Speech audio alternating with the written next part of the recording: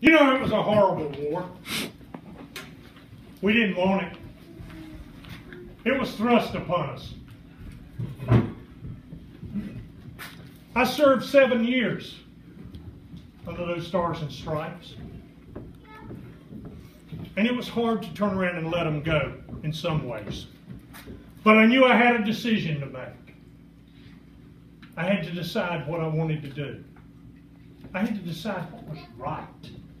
And sometimes that's even harder than deciding what you want to do. Sometimes it's easy to say, I want to do this and I'm going to do it. other times, like we talked earlier, you got to take the time and say what's right. What is right? But before I go into too much of that, I'm going to let Miss Flora tell you a little bit about her. You always get to hear my side of the story. All too often, you don't understand some of the things that she did, where she came from, and what it was like for her. Because believe me, when you get through tonight, you'll know that her life was just as tough as mine as a soldier.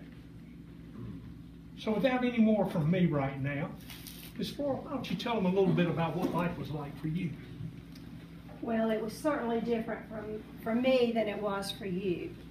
Um, he'll tell you about how he grew up, but let me tell you, I grew up completely different. I grew up with wonderful parents in the middle of nowhere in Fort Riley, Kansas, and it was desolate. It was there was nothing there except a military base and lots of soldiers. It was um, no rolling hills and no green pastures. It was simply living on a, a military base. And there wasn't much for young girls to do, um, except uh, we were taught by our parents. And um, my father was Philip St. George Cooke, I had a brother and two sisters. And my mom, as you can imagine, being living out in the frontier, uh, she had taught us as long as she could. And then she decided that to be as prepared um, as we needed to be to find a nice husband and be prepared to find a nice husband, that we had to be prepared um, to be lady. And so we were sent to Michigan to boarding school and to finishing school. And there I learned a lot. I learned um, how to play uh, musical instruments, the piano, the banjo, um, the guitar. I, I learned how to sing and uh, lots of things. But my most favorite thing in the world and I was familiar with it because living out on the plains and, and living in um, with the military, I learned that my love was with horses. And so I was able to ride anytime that I wanted to. I learned how to treat those animals and I with, with much respect. And I felt that um, they respected me as, as well. They, I could handle a horse like nobody else, hmm. I thought, and just as well as some of those soldiers could. And so I did. And I grew up doing that for many years, and then I returned to the prairie. After my schooling was over, I returned, and again, I'm living on a military base. When I meet this wonderful, good looking soldier his name was Jeb Stuart. He was a young lieutenant, and I think it was love at first sight, for me anyway. We had a lot in common. We loved music, and we loved to sing and have a good time, but especially I think he was smitten over my, my uh, being able to handle horses. And so for years, well, not for years, I'm, i take that back, just for four short months, we stayed close together, um, doing the things that we like to do. That was our courtship, just four quick months.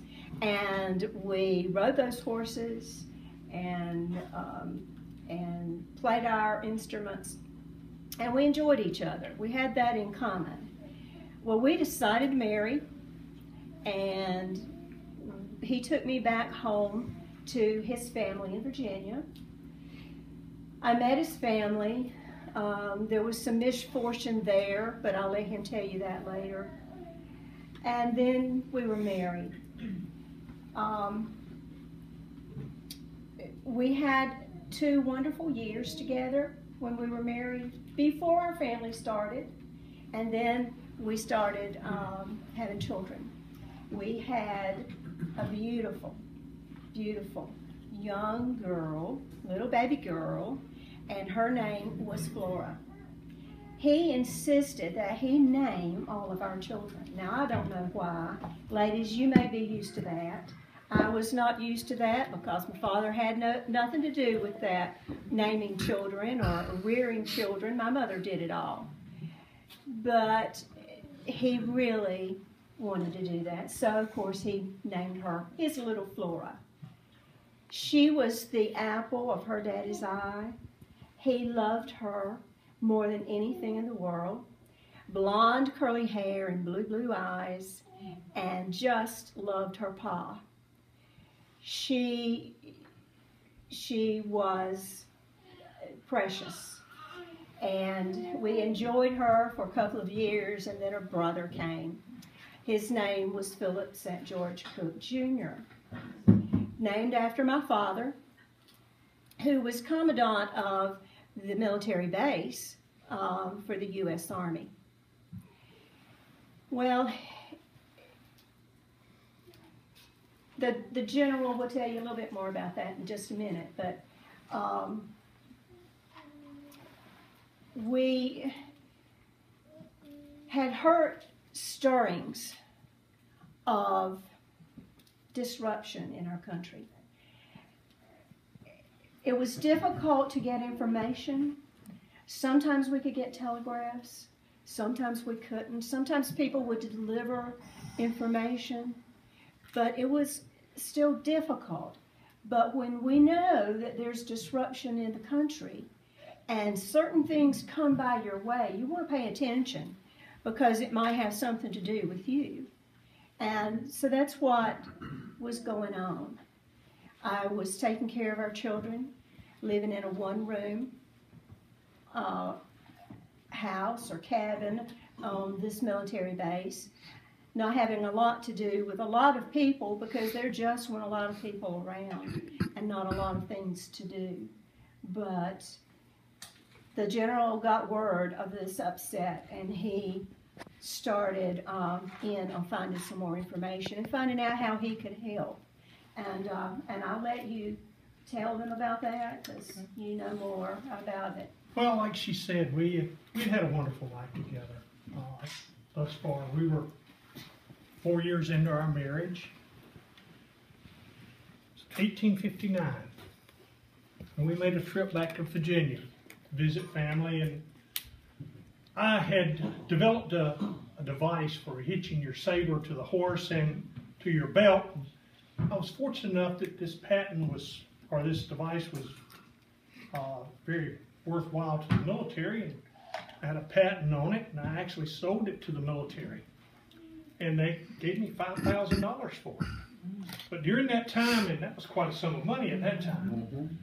And it, so what I looked at was it was a chance for us to spend time with family and I had made a little money and I was at the War Department in and out on a daily basis. When word came of an uprising up at Harper's Ferry, and we got word on that and it really bothered us. And so we were trying to figure out uh, what should we do. And somebody said, could General, could somebody go over and get Colonel Lee? And uh, I happened to be outside the office. I said, I'd be more than happy to. I know where Arlington is. I'd had the opportunity to know the, the good colonel when he was the commandant at West Point. I'll talk about that in just a second. But went and got Colonel Lee, and we came back, and they told us what the problem was. This, this guy John Smith had taken over Harper's Ferry. And they needed a, somebody to go up there and do something about it. Here's the strange part about this. We went to three separate groups before we finally got some help. The first group was a local militia. And when we went to this group, we said, we need some help. There's been an uprising at Harper's Ferry. We explained the situation. Would you be willing to go with us? And they looked at us and said, No, sir. Our job is here. Our job is to protect the home front. We're local militia. That's, that's out of our area. We don't need to go there. And we went to a second group of militia and we asked them the same question. And we got the same answer. Then we went to a group of Marines. Lieutenant Greene was their commander. And Colonel Lee asked him the same question. He said, Sir, I'd be honored. And he put together his contingent of Marines, about 40 some men. We put them on a train and we sent them straight to Harper's Ferry. Then he and I ran around trying to get uniforms and weapons and stuff that we needed to, to finish the mission. And we got on the train later that evening and we weren't on the train, we were in the engine compartment. And there was me and Colonel Lee and the engineer. And we developed our plan as we made our way to Harper's Ferry. And our plan was very simple. It wasn't a complicated plan. We had a decision to make. Something was going to happen, and we were going to be in control of the situation. So the next morning around 6 o'clock, I go down to the Arsenal House where these group of men are holed up. And I knock on the door. And when I do so, the door opens about this far. An old pistol or old rifle comes out and hits me right here in the chest. I'm looking at this thing trying to figure out what am I going to do now? But I had a job to do. I'd been given my instructions by Colonel Lee. and so I told the man standing at the other end of the gun what had to happen. You're to release your prisoners. You're to surrender. You're to walk out. Or else we'll take over this place. He tried to negotiate. We see there was only one problem with this. I knew the man. From our time in Kansas, when we had to try to put down the problems between the free states and the slave states, I had an opportunity to deal with not Captain John Smith, but Mr. John Brown. And Osawatomie Brown was the man on the other end of that rifle that was laying against my chest. And after a few minutes, I saw that he wasn't going to do what I'd asked him to do. And the prearranged signal was for me to drop my hat and step back. And with that one motion, in rushed a group of Marines. They knocked the door down, and in a matter of three minutes, it was over. We got our people out. Of course, John Brown was knocked out. He came to later and we had a conversation. And he looked at me and he said, You know, with the twitch of a finger, I could have ended your life. I said, Yes, sir. And with one swipe of my sharp saber, I could save Virginia a lot of money. Well, as you all know, the trial was held. A few days later, he was convicted. And he was hanged. And that's where a second great man comes into the picture in relation to my background. That's where a young man, well, not so young, but a man from VMI took a bunch of cadets up, and their job was to guard the hanging site. That's where Jonathan, Thomas Jonathan Jackson was. Man we later called Stonewall. And he oversaw that. But on the day of, that we took the, the arsenal back, that afternoon we went over and recovered over a thousand pikes at a nearby farm. Brown was hoping that he could cause an insurrection, an uprising that never happened. That was his goal. We left and went back to Kansas, and like I said, I had the great opportunity to to serve with some wonderful men out there. Her father was one of my favorites. Favored so much, like she said, that we named our son after him. But also despised when the war broke out and he decided that he was going to stay with the Union. He, a Virginian, just like I was, decided that he was going to stay with the United States Army. Decided that he was going to be a traitor to his native country. And at that time, I told Miss Flora, that name will never be spoken in our family again. And we changed the name of our son from Philip St. George Cooke Stuart to James Ewell Brown Stuart Jr. That name would never be spoken again in our house. But we never really had a house. We never really had a home. Like I said, I spent seven years in the military. I spent four years at West Point, of which time Colonel Lee was my commandant for two years. I told you I'd get back to that story. The great Colonel Lee came in in my junior year. And you know, he brought something that all us young guys love to see at West Point. He brought four daughters with him. and of course, Custis was one of my classmates there. And I always had the opportunity to go to the house on Saturday night. And it was always a, custom to when I'd walk in, I'd take Miss Mary, one of his daughters, and we'd walk through the garden. Because being raised at my mother's knee in Southwest Virginia, I knew that I loved flowers. I loved to garden. I understood most all varieties.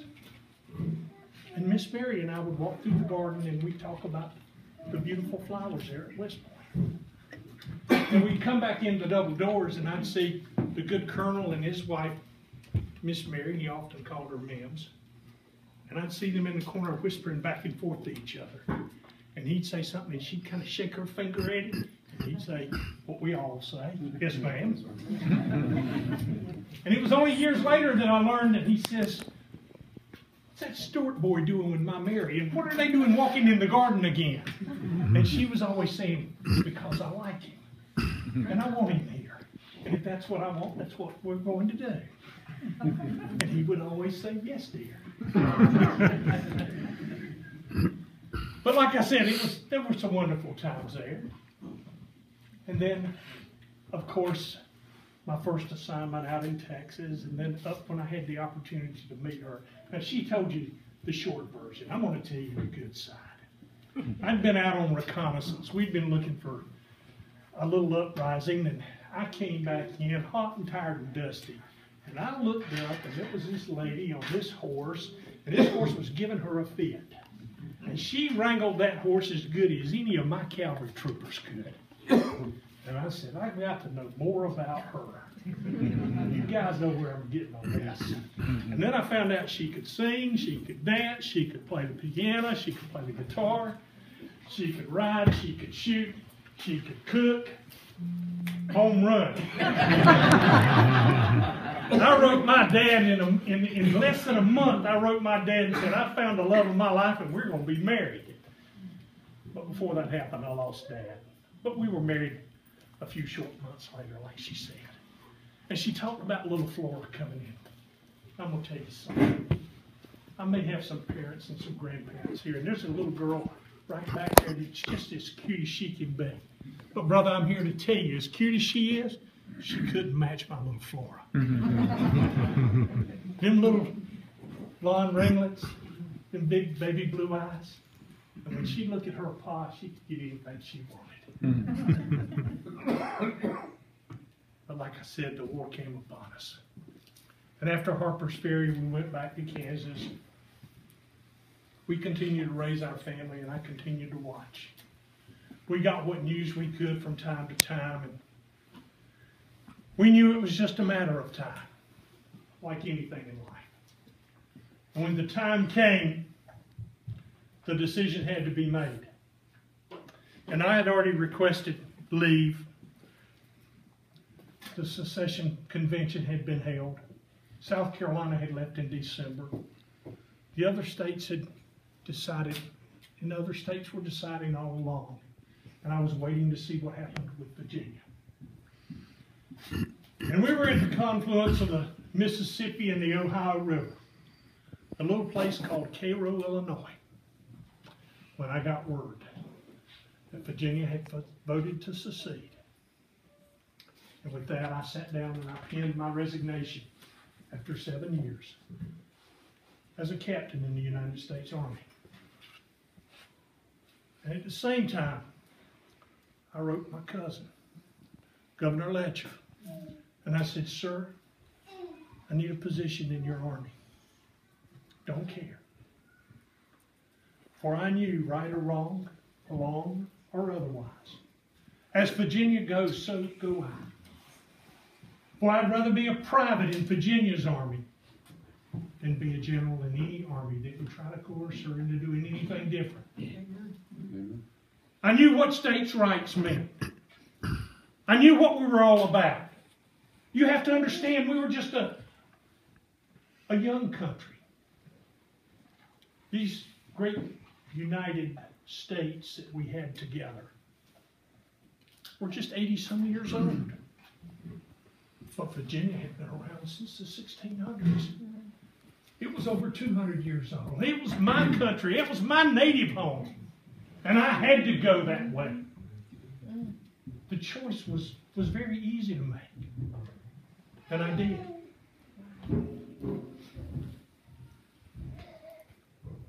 Different people had to look at different things and make different decisions. And it wasn't that bad. When I reported into Governor Letcher's office, he sent me over to be with Major Jackson, now Colonel Jackson, in the valley. And when I first arrived to him, I was still wearing the blue dress uniform of an Army officer. And we sat down and we had a long conversation. And we talked about God, because I was from a strict Episcopalian upbringing. My wife, my mother taught me from a small child. I learned to read from the Bible. Christianity was part of my, my, my basic tenets of life every day. I took an oath at age 12 never to take a drink. An oath I kept to my dying day. But I knew when I sat there and I talked to Colonel Jackson what a good man this was, what a fair man this was. And we immediately bonded. We talked about something called the black flag. We knew what it meant. We understood war. No, I'd never been in war like he had, or General Lee. But I understood it. Understood from the dealings I had with the Indians in the plains. I'd been wounded earlier in my career. I survived it. I still carried the bullet. But it was no big problem. But we had a wonderful time together. And I could sit here and we could talk battles all night long, and we could talk about First Manassas. We could talk about what happened at Kelly's Ford. We could talk about Gettysburg, that I know some people always love to ask me where was I at. and I'll tell you simply, I was doing what my commander told me to do. You know? But what we want to talk about tonight is we're talking about family and we're talking about good times together. And you know, Miss Flora and I never had a home. We often talked about coming back to Virginia and going back to Laurel Hill over in Patrick County. And we always thought that if we could just have a small part of the home place and live our days out there, how happy we could be. We talked about what a wonderful opportunity it would be to raise our children in Virginia and to teach them the southern way of doing things. We did as best we could with our two children that we had then. But in 1862, we had a serious problem come up. That little Flora that I love to talk about mm-hmm. was ill with the fever. This was just before Fredericksburg. And I got a letter from Flora and she said, Your little pet is sick. And that was my nickname for her. She's not doing well. And we don't know how much longer she may last. We need you at home. Now, we had made a pact before I ever left, before the war ever started, that my place and my duty was with my men, defending my country. And she knew I wouldn't come, but she asked. And I had to tell her no. And I simply wrote her a letter back and said, It's been several days since the illness first happened. And it would take me several more to get to you. And in the course of that time, she may pass. and we have to put it in God's hands. But if I go back and she's better, I've wasted the time. And I'm needed here. I have a duty and an obligation here. It was on the 6th of November, just a few days before her birthday. Major Von Borcke came to my headquarters tent that night, and he brought me a letter that told me of my passing of little Flora. And in that letter, my wife told me the last things that I could understand of how she died missing her father. But she died courageous. And I pinned her a letter back and I said, She's in a better place. She is with our Maker. She's at a place right now where she needs to be because she was not of this world. She was in a far better place. And it was hard for us. And she came to see me at Christmas and we spent some time together and we had dinner together as best we could, being soldiers. But times were hard for all soldiers. I wasn't the only one. General Lee, President Davis, we all lost family members. It was a hard time. A year later, though, we were blessed. We had another little girl. And we named her Virginia after the great state of Virginia. And her middle name was Pelham. Mm-hmm. and if any of you know who I'm talking about, that artillerist, Major John Pelham, was like a brother to me.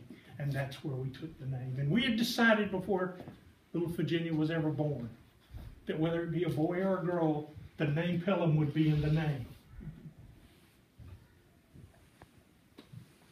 This was in October of 63. Little did I know that my time was short upon this earth. In May of 64, things are getting hairy. It's tough all over. Command has changed again up north. Sherman has made some bold statements about he could whip Stuart anytime, any place, anywhere. And Meade was tired of hearing these. And he took it to Grant and he told him of what Sherman had said. And Grant's comment was, well, turn him loose. Nobody else has been able to do that. Let's see if he can do what he says. What's it going what's it going to mean to us? And with that, he took 10,000 soldiers and left coming through the wilderness. And I took 3,500 to try to stop him, and they were headed for Richmond. We tagged him for two days. We finally got in front of him. On the 10th of May, I had the opportunity to stop at the Fontaines up at Beaver Dam. And I spent about an hour with Flora. I had some asparagus soup. Never got off my horse. Held a little Virginia, seven months old at the time. Little Jimmy was playing in the background. We talked about faith. We talked about God. We talked about Virginia. We talked about family. And I told her then, I'm content. I'm satisfied. That should I die in battle, I'll be fine. I'll finally have a chance to see my little Flora again. But I know she's watching over me on the field of battle every day. It didn't bother me. After about an hour, I leaned over out the saddle and gave her a kiss goodbye. And Major Venable and I turned and made our way back to the troops coming down Plank Road. We made our way down to Yellow Tavern where we decided to put up our fortifications. And there at Yellow Tavern, we put up the halt and we stopped and we fought. We had a small skirmish that morning. That afternoon, we had a big one. They broke through our fortifications, and those guys from Michigan, those Wolverines, determined that they were going to get the best of us, never could. And as we turned them back, an old sharpshooter, now a cavalry officer, turned and fired blindly into the air and caught me up underneath the rib cage. They took me back to Richmond. I arrived there late that afternoon. But as they took me off the battlefield, I watched my soldiers. And I told them to go back. Go back and do your duty as I have done mine. Go back. Fitz will lead you where you need to go. I knew that my time was drawing nigh.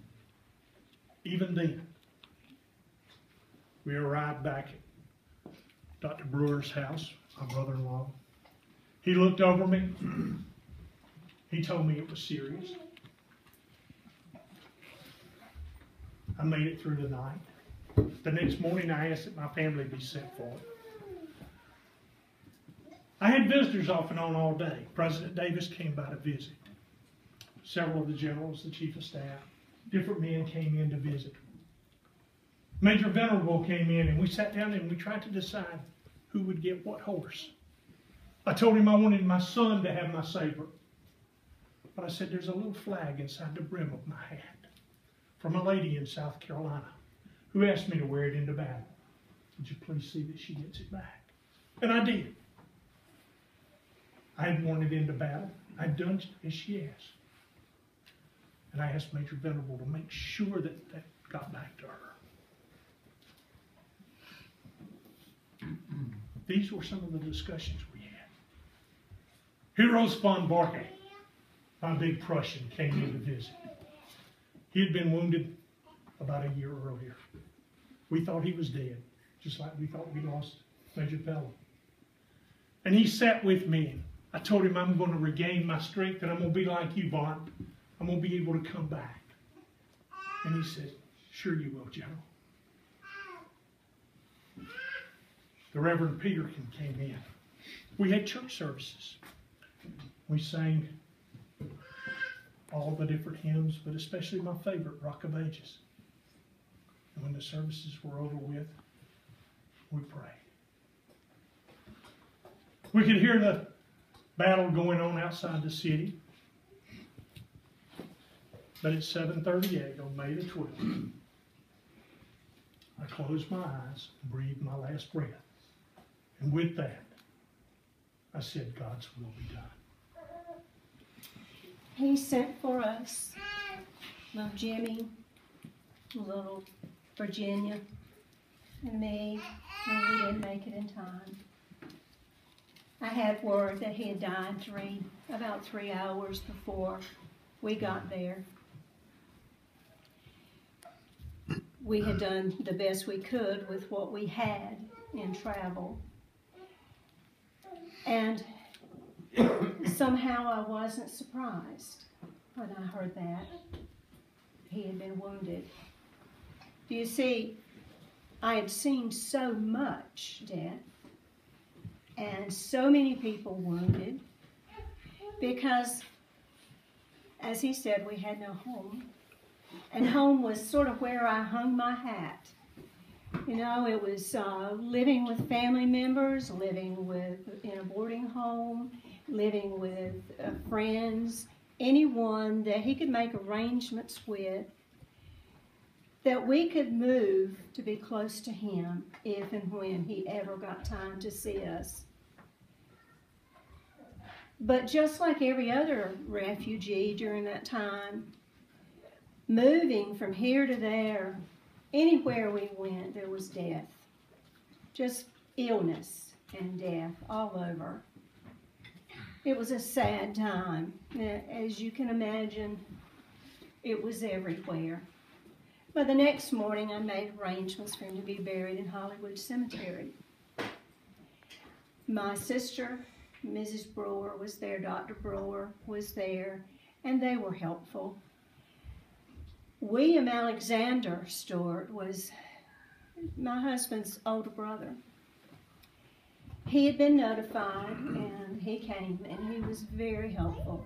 You see, they made a pact that if anything happened to my husband during the war, that he would help me, that he would help me um, financially, put a roof over my head, help our children be educated, and he was still determined to do that. You see, I had the $50 from the hitching device that he had a patent on, and William Alexander had taken out a $10,000 life insurance policy. I was okay financially. But the children and I needed to move. We needed to get away from the, the war so much strife and, and so much danger ahead. So William Alexander took, it, took us with him to Saltville, Virginia. And there we stayed for 12 years. He was very gracious. His family was gracious. And my sister-in-law and I started a school. See, all that teaching that I had gotten earlier in boarding school and finishing school paid off. I was able to teach. Uh, we taught in a cabin, a two-story cabin.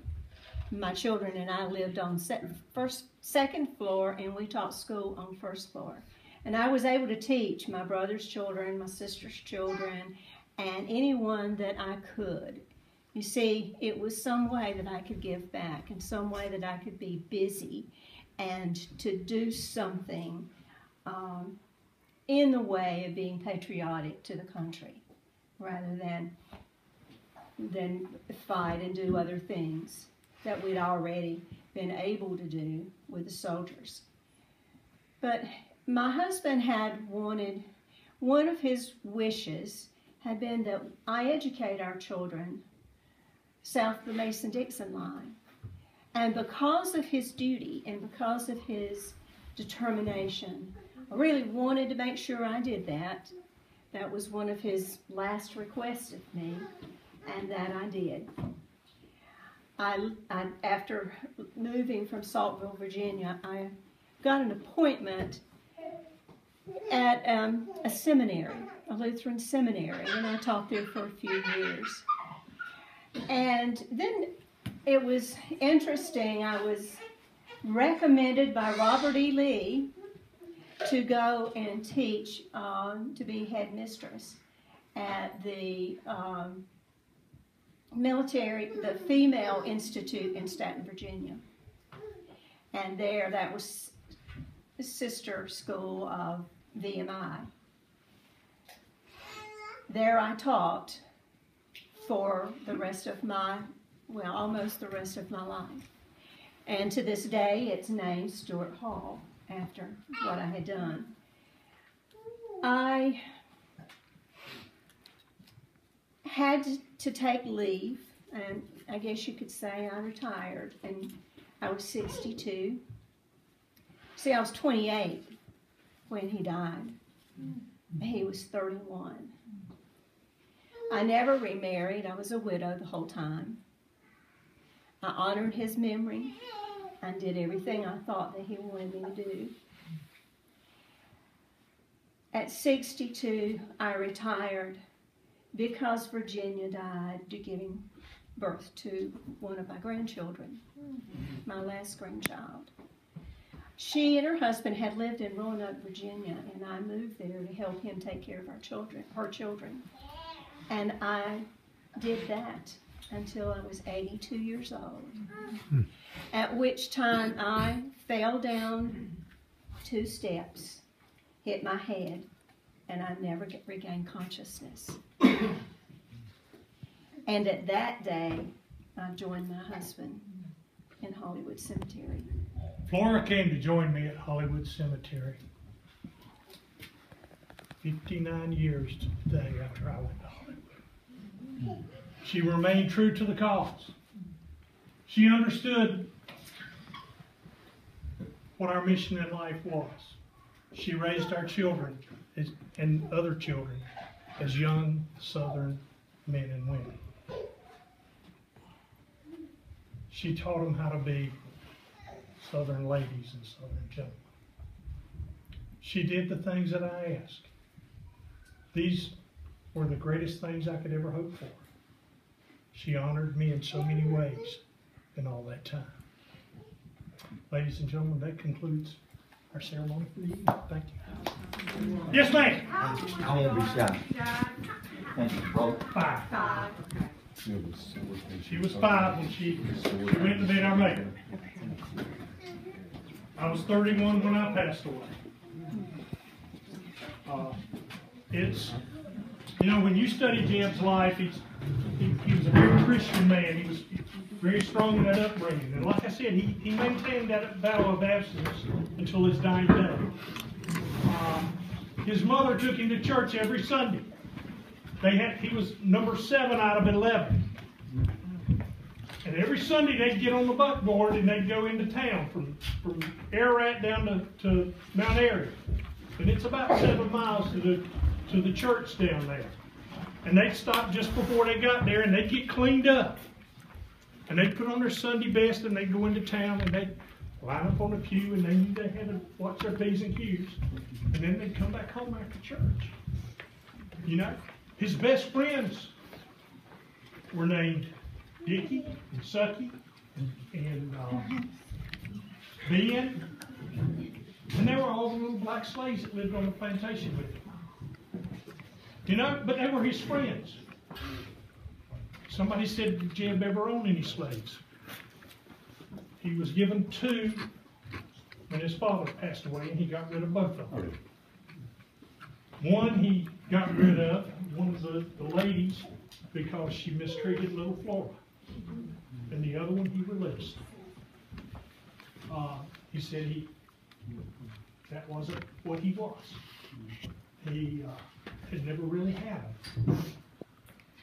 And they were friends to him. And that's the way they always were. You know, he had a manservant while he was in service, uh, Bob, played the bones. He was a mulatto. Bob was Bob was one of the men. You know, Sam Sweeney played the, the banjo. He believed in music and, and, and merriment in his his midst because he said, "My men are going to be happy today. They're going to party today because they may go into battle and die tomorrow." He loved his men. When he trained them, he'd go out and he'd live with them. He'd say, Follow me. He didn't tell them to go do it. He said, Come on, I'll show you. He actually took men into the into the lines and he he said, Listen. And they were close enough to the enemy they could hear them talking. And then they started firing and they fire artillery rounds over the top of it. He said, That's what war sounds like.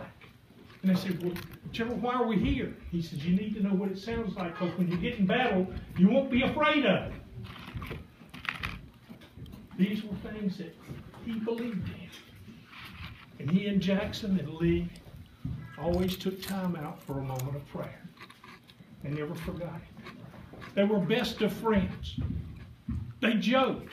Everybody looks at Stonewall and looks at that stern expression that old General Jackson would give you. But he was a jokester too. He enjoyed having a good time. And he and Stuart could have some of the best.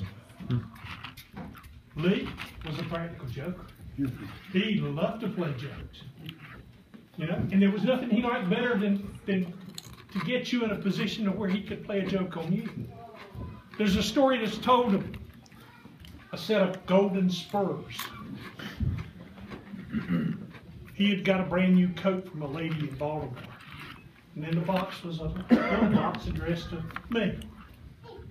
So he sent for me, and this was at Christmas time, and Miss Flora was with me, and we got a horse for her, and we rode to his headquarters, and we had what would pass for coffee at the time. And he pushed the little box across the table. He said, General, he said, we're planning some things right now, and I need to know if the information in this box is, is some importance to our campaign. And I opened it, when I took the brown paper off, inside was a pair of golden spurs. And of course, Miss Flora looks at me and says, Tell me more about this lady in Baltimore. and I said, She's just an older lady that sends us things from time to time. And she says, Really? And uh, she raises her riding dress up just a little bit. She says, Well, I think those spurs will fit my boots just fine. but, you know, he enjoyed getting his hand in those positions. He, he, he frolicked in it. And in 62, when we had dinner, uh, Christmas dinner at the Corbin House, at that time he, he picked at General Jackson about the fact that there was a gamecock on the butter. He said, What kind of general are you that has all these wild animals' heads around his office and a gamecock on your butt?" He said, I thought you were a Christian man. I thought you were a much more sensitive man than that. And he just thought it was the funniest thing, but that was the way he was. He was a good man. And then there was a story that was told about him leaving the battlefield at Gettysburg. And he goes by the wounded Union soldier. And he starts talking about the Yankees and how they're going to beat the Southern boys. And General Lee stops and gets off his horse goes over there with his men. And he looks down and the this story was actually told by a Union soldier. You can Google it and you'll find it. But he looked up at the general and he said, I knew my days were done then. I fully expected to be killed. And he said, General Lee knelt down and put his hand on him and apologized to him and said, Son, I'm sorry. I'm sorry that this happened to you. And he called for his, his surgeon. And came over and took care and gave medical assistance to him. That was the kind of man our generals were. Those were the kind of men that we respected in the South. And those are the kind of men that's going to lead the South in the future. That's what we've got to have. That's what it's got to be. I'll shut up. Thank you.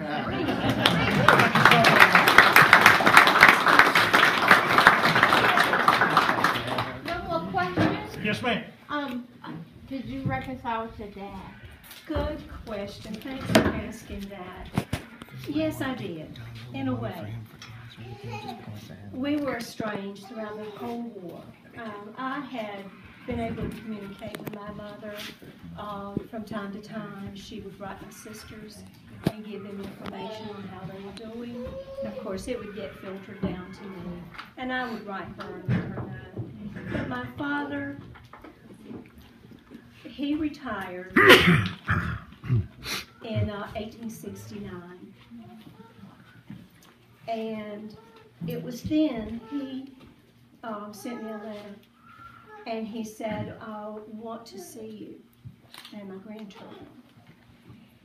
Well, we, I had traveled there uh, without the children that time because I didn't know what to expect. And I hadn't seen my father in years.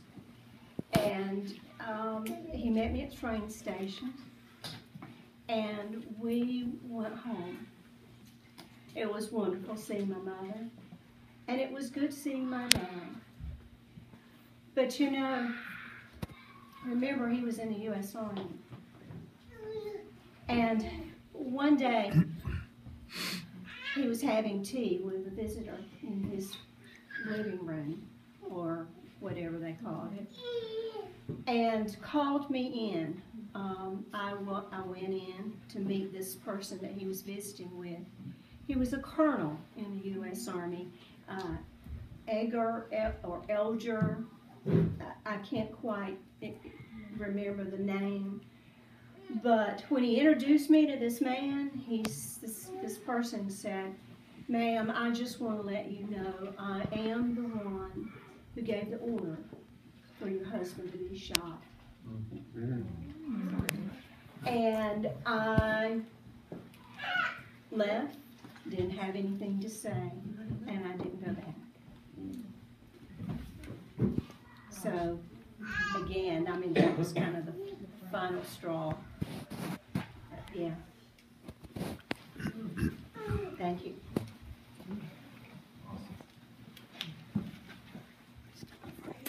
Any others? I wanna know when you were wrangling those horses, when you doing that side saddle? Of course. That's was, that was how ladies were raised.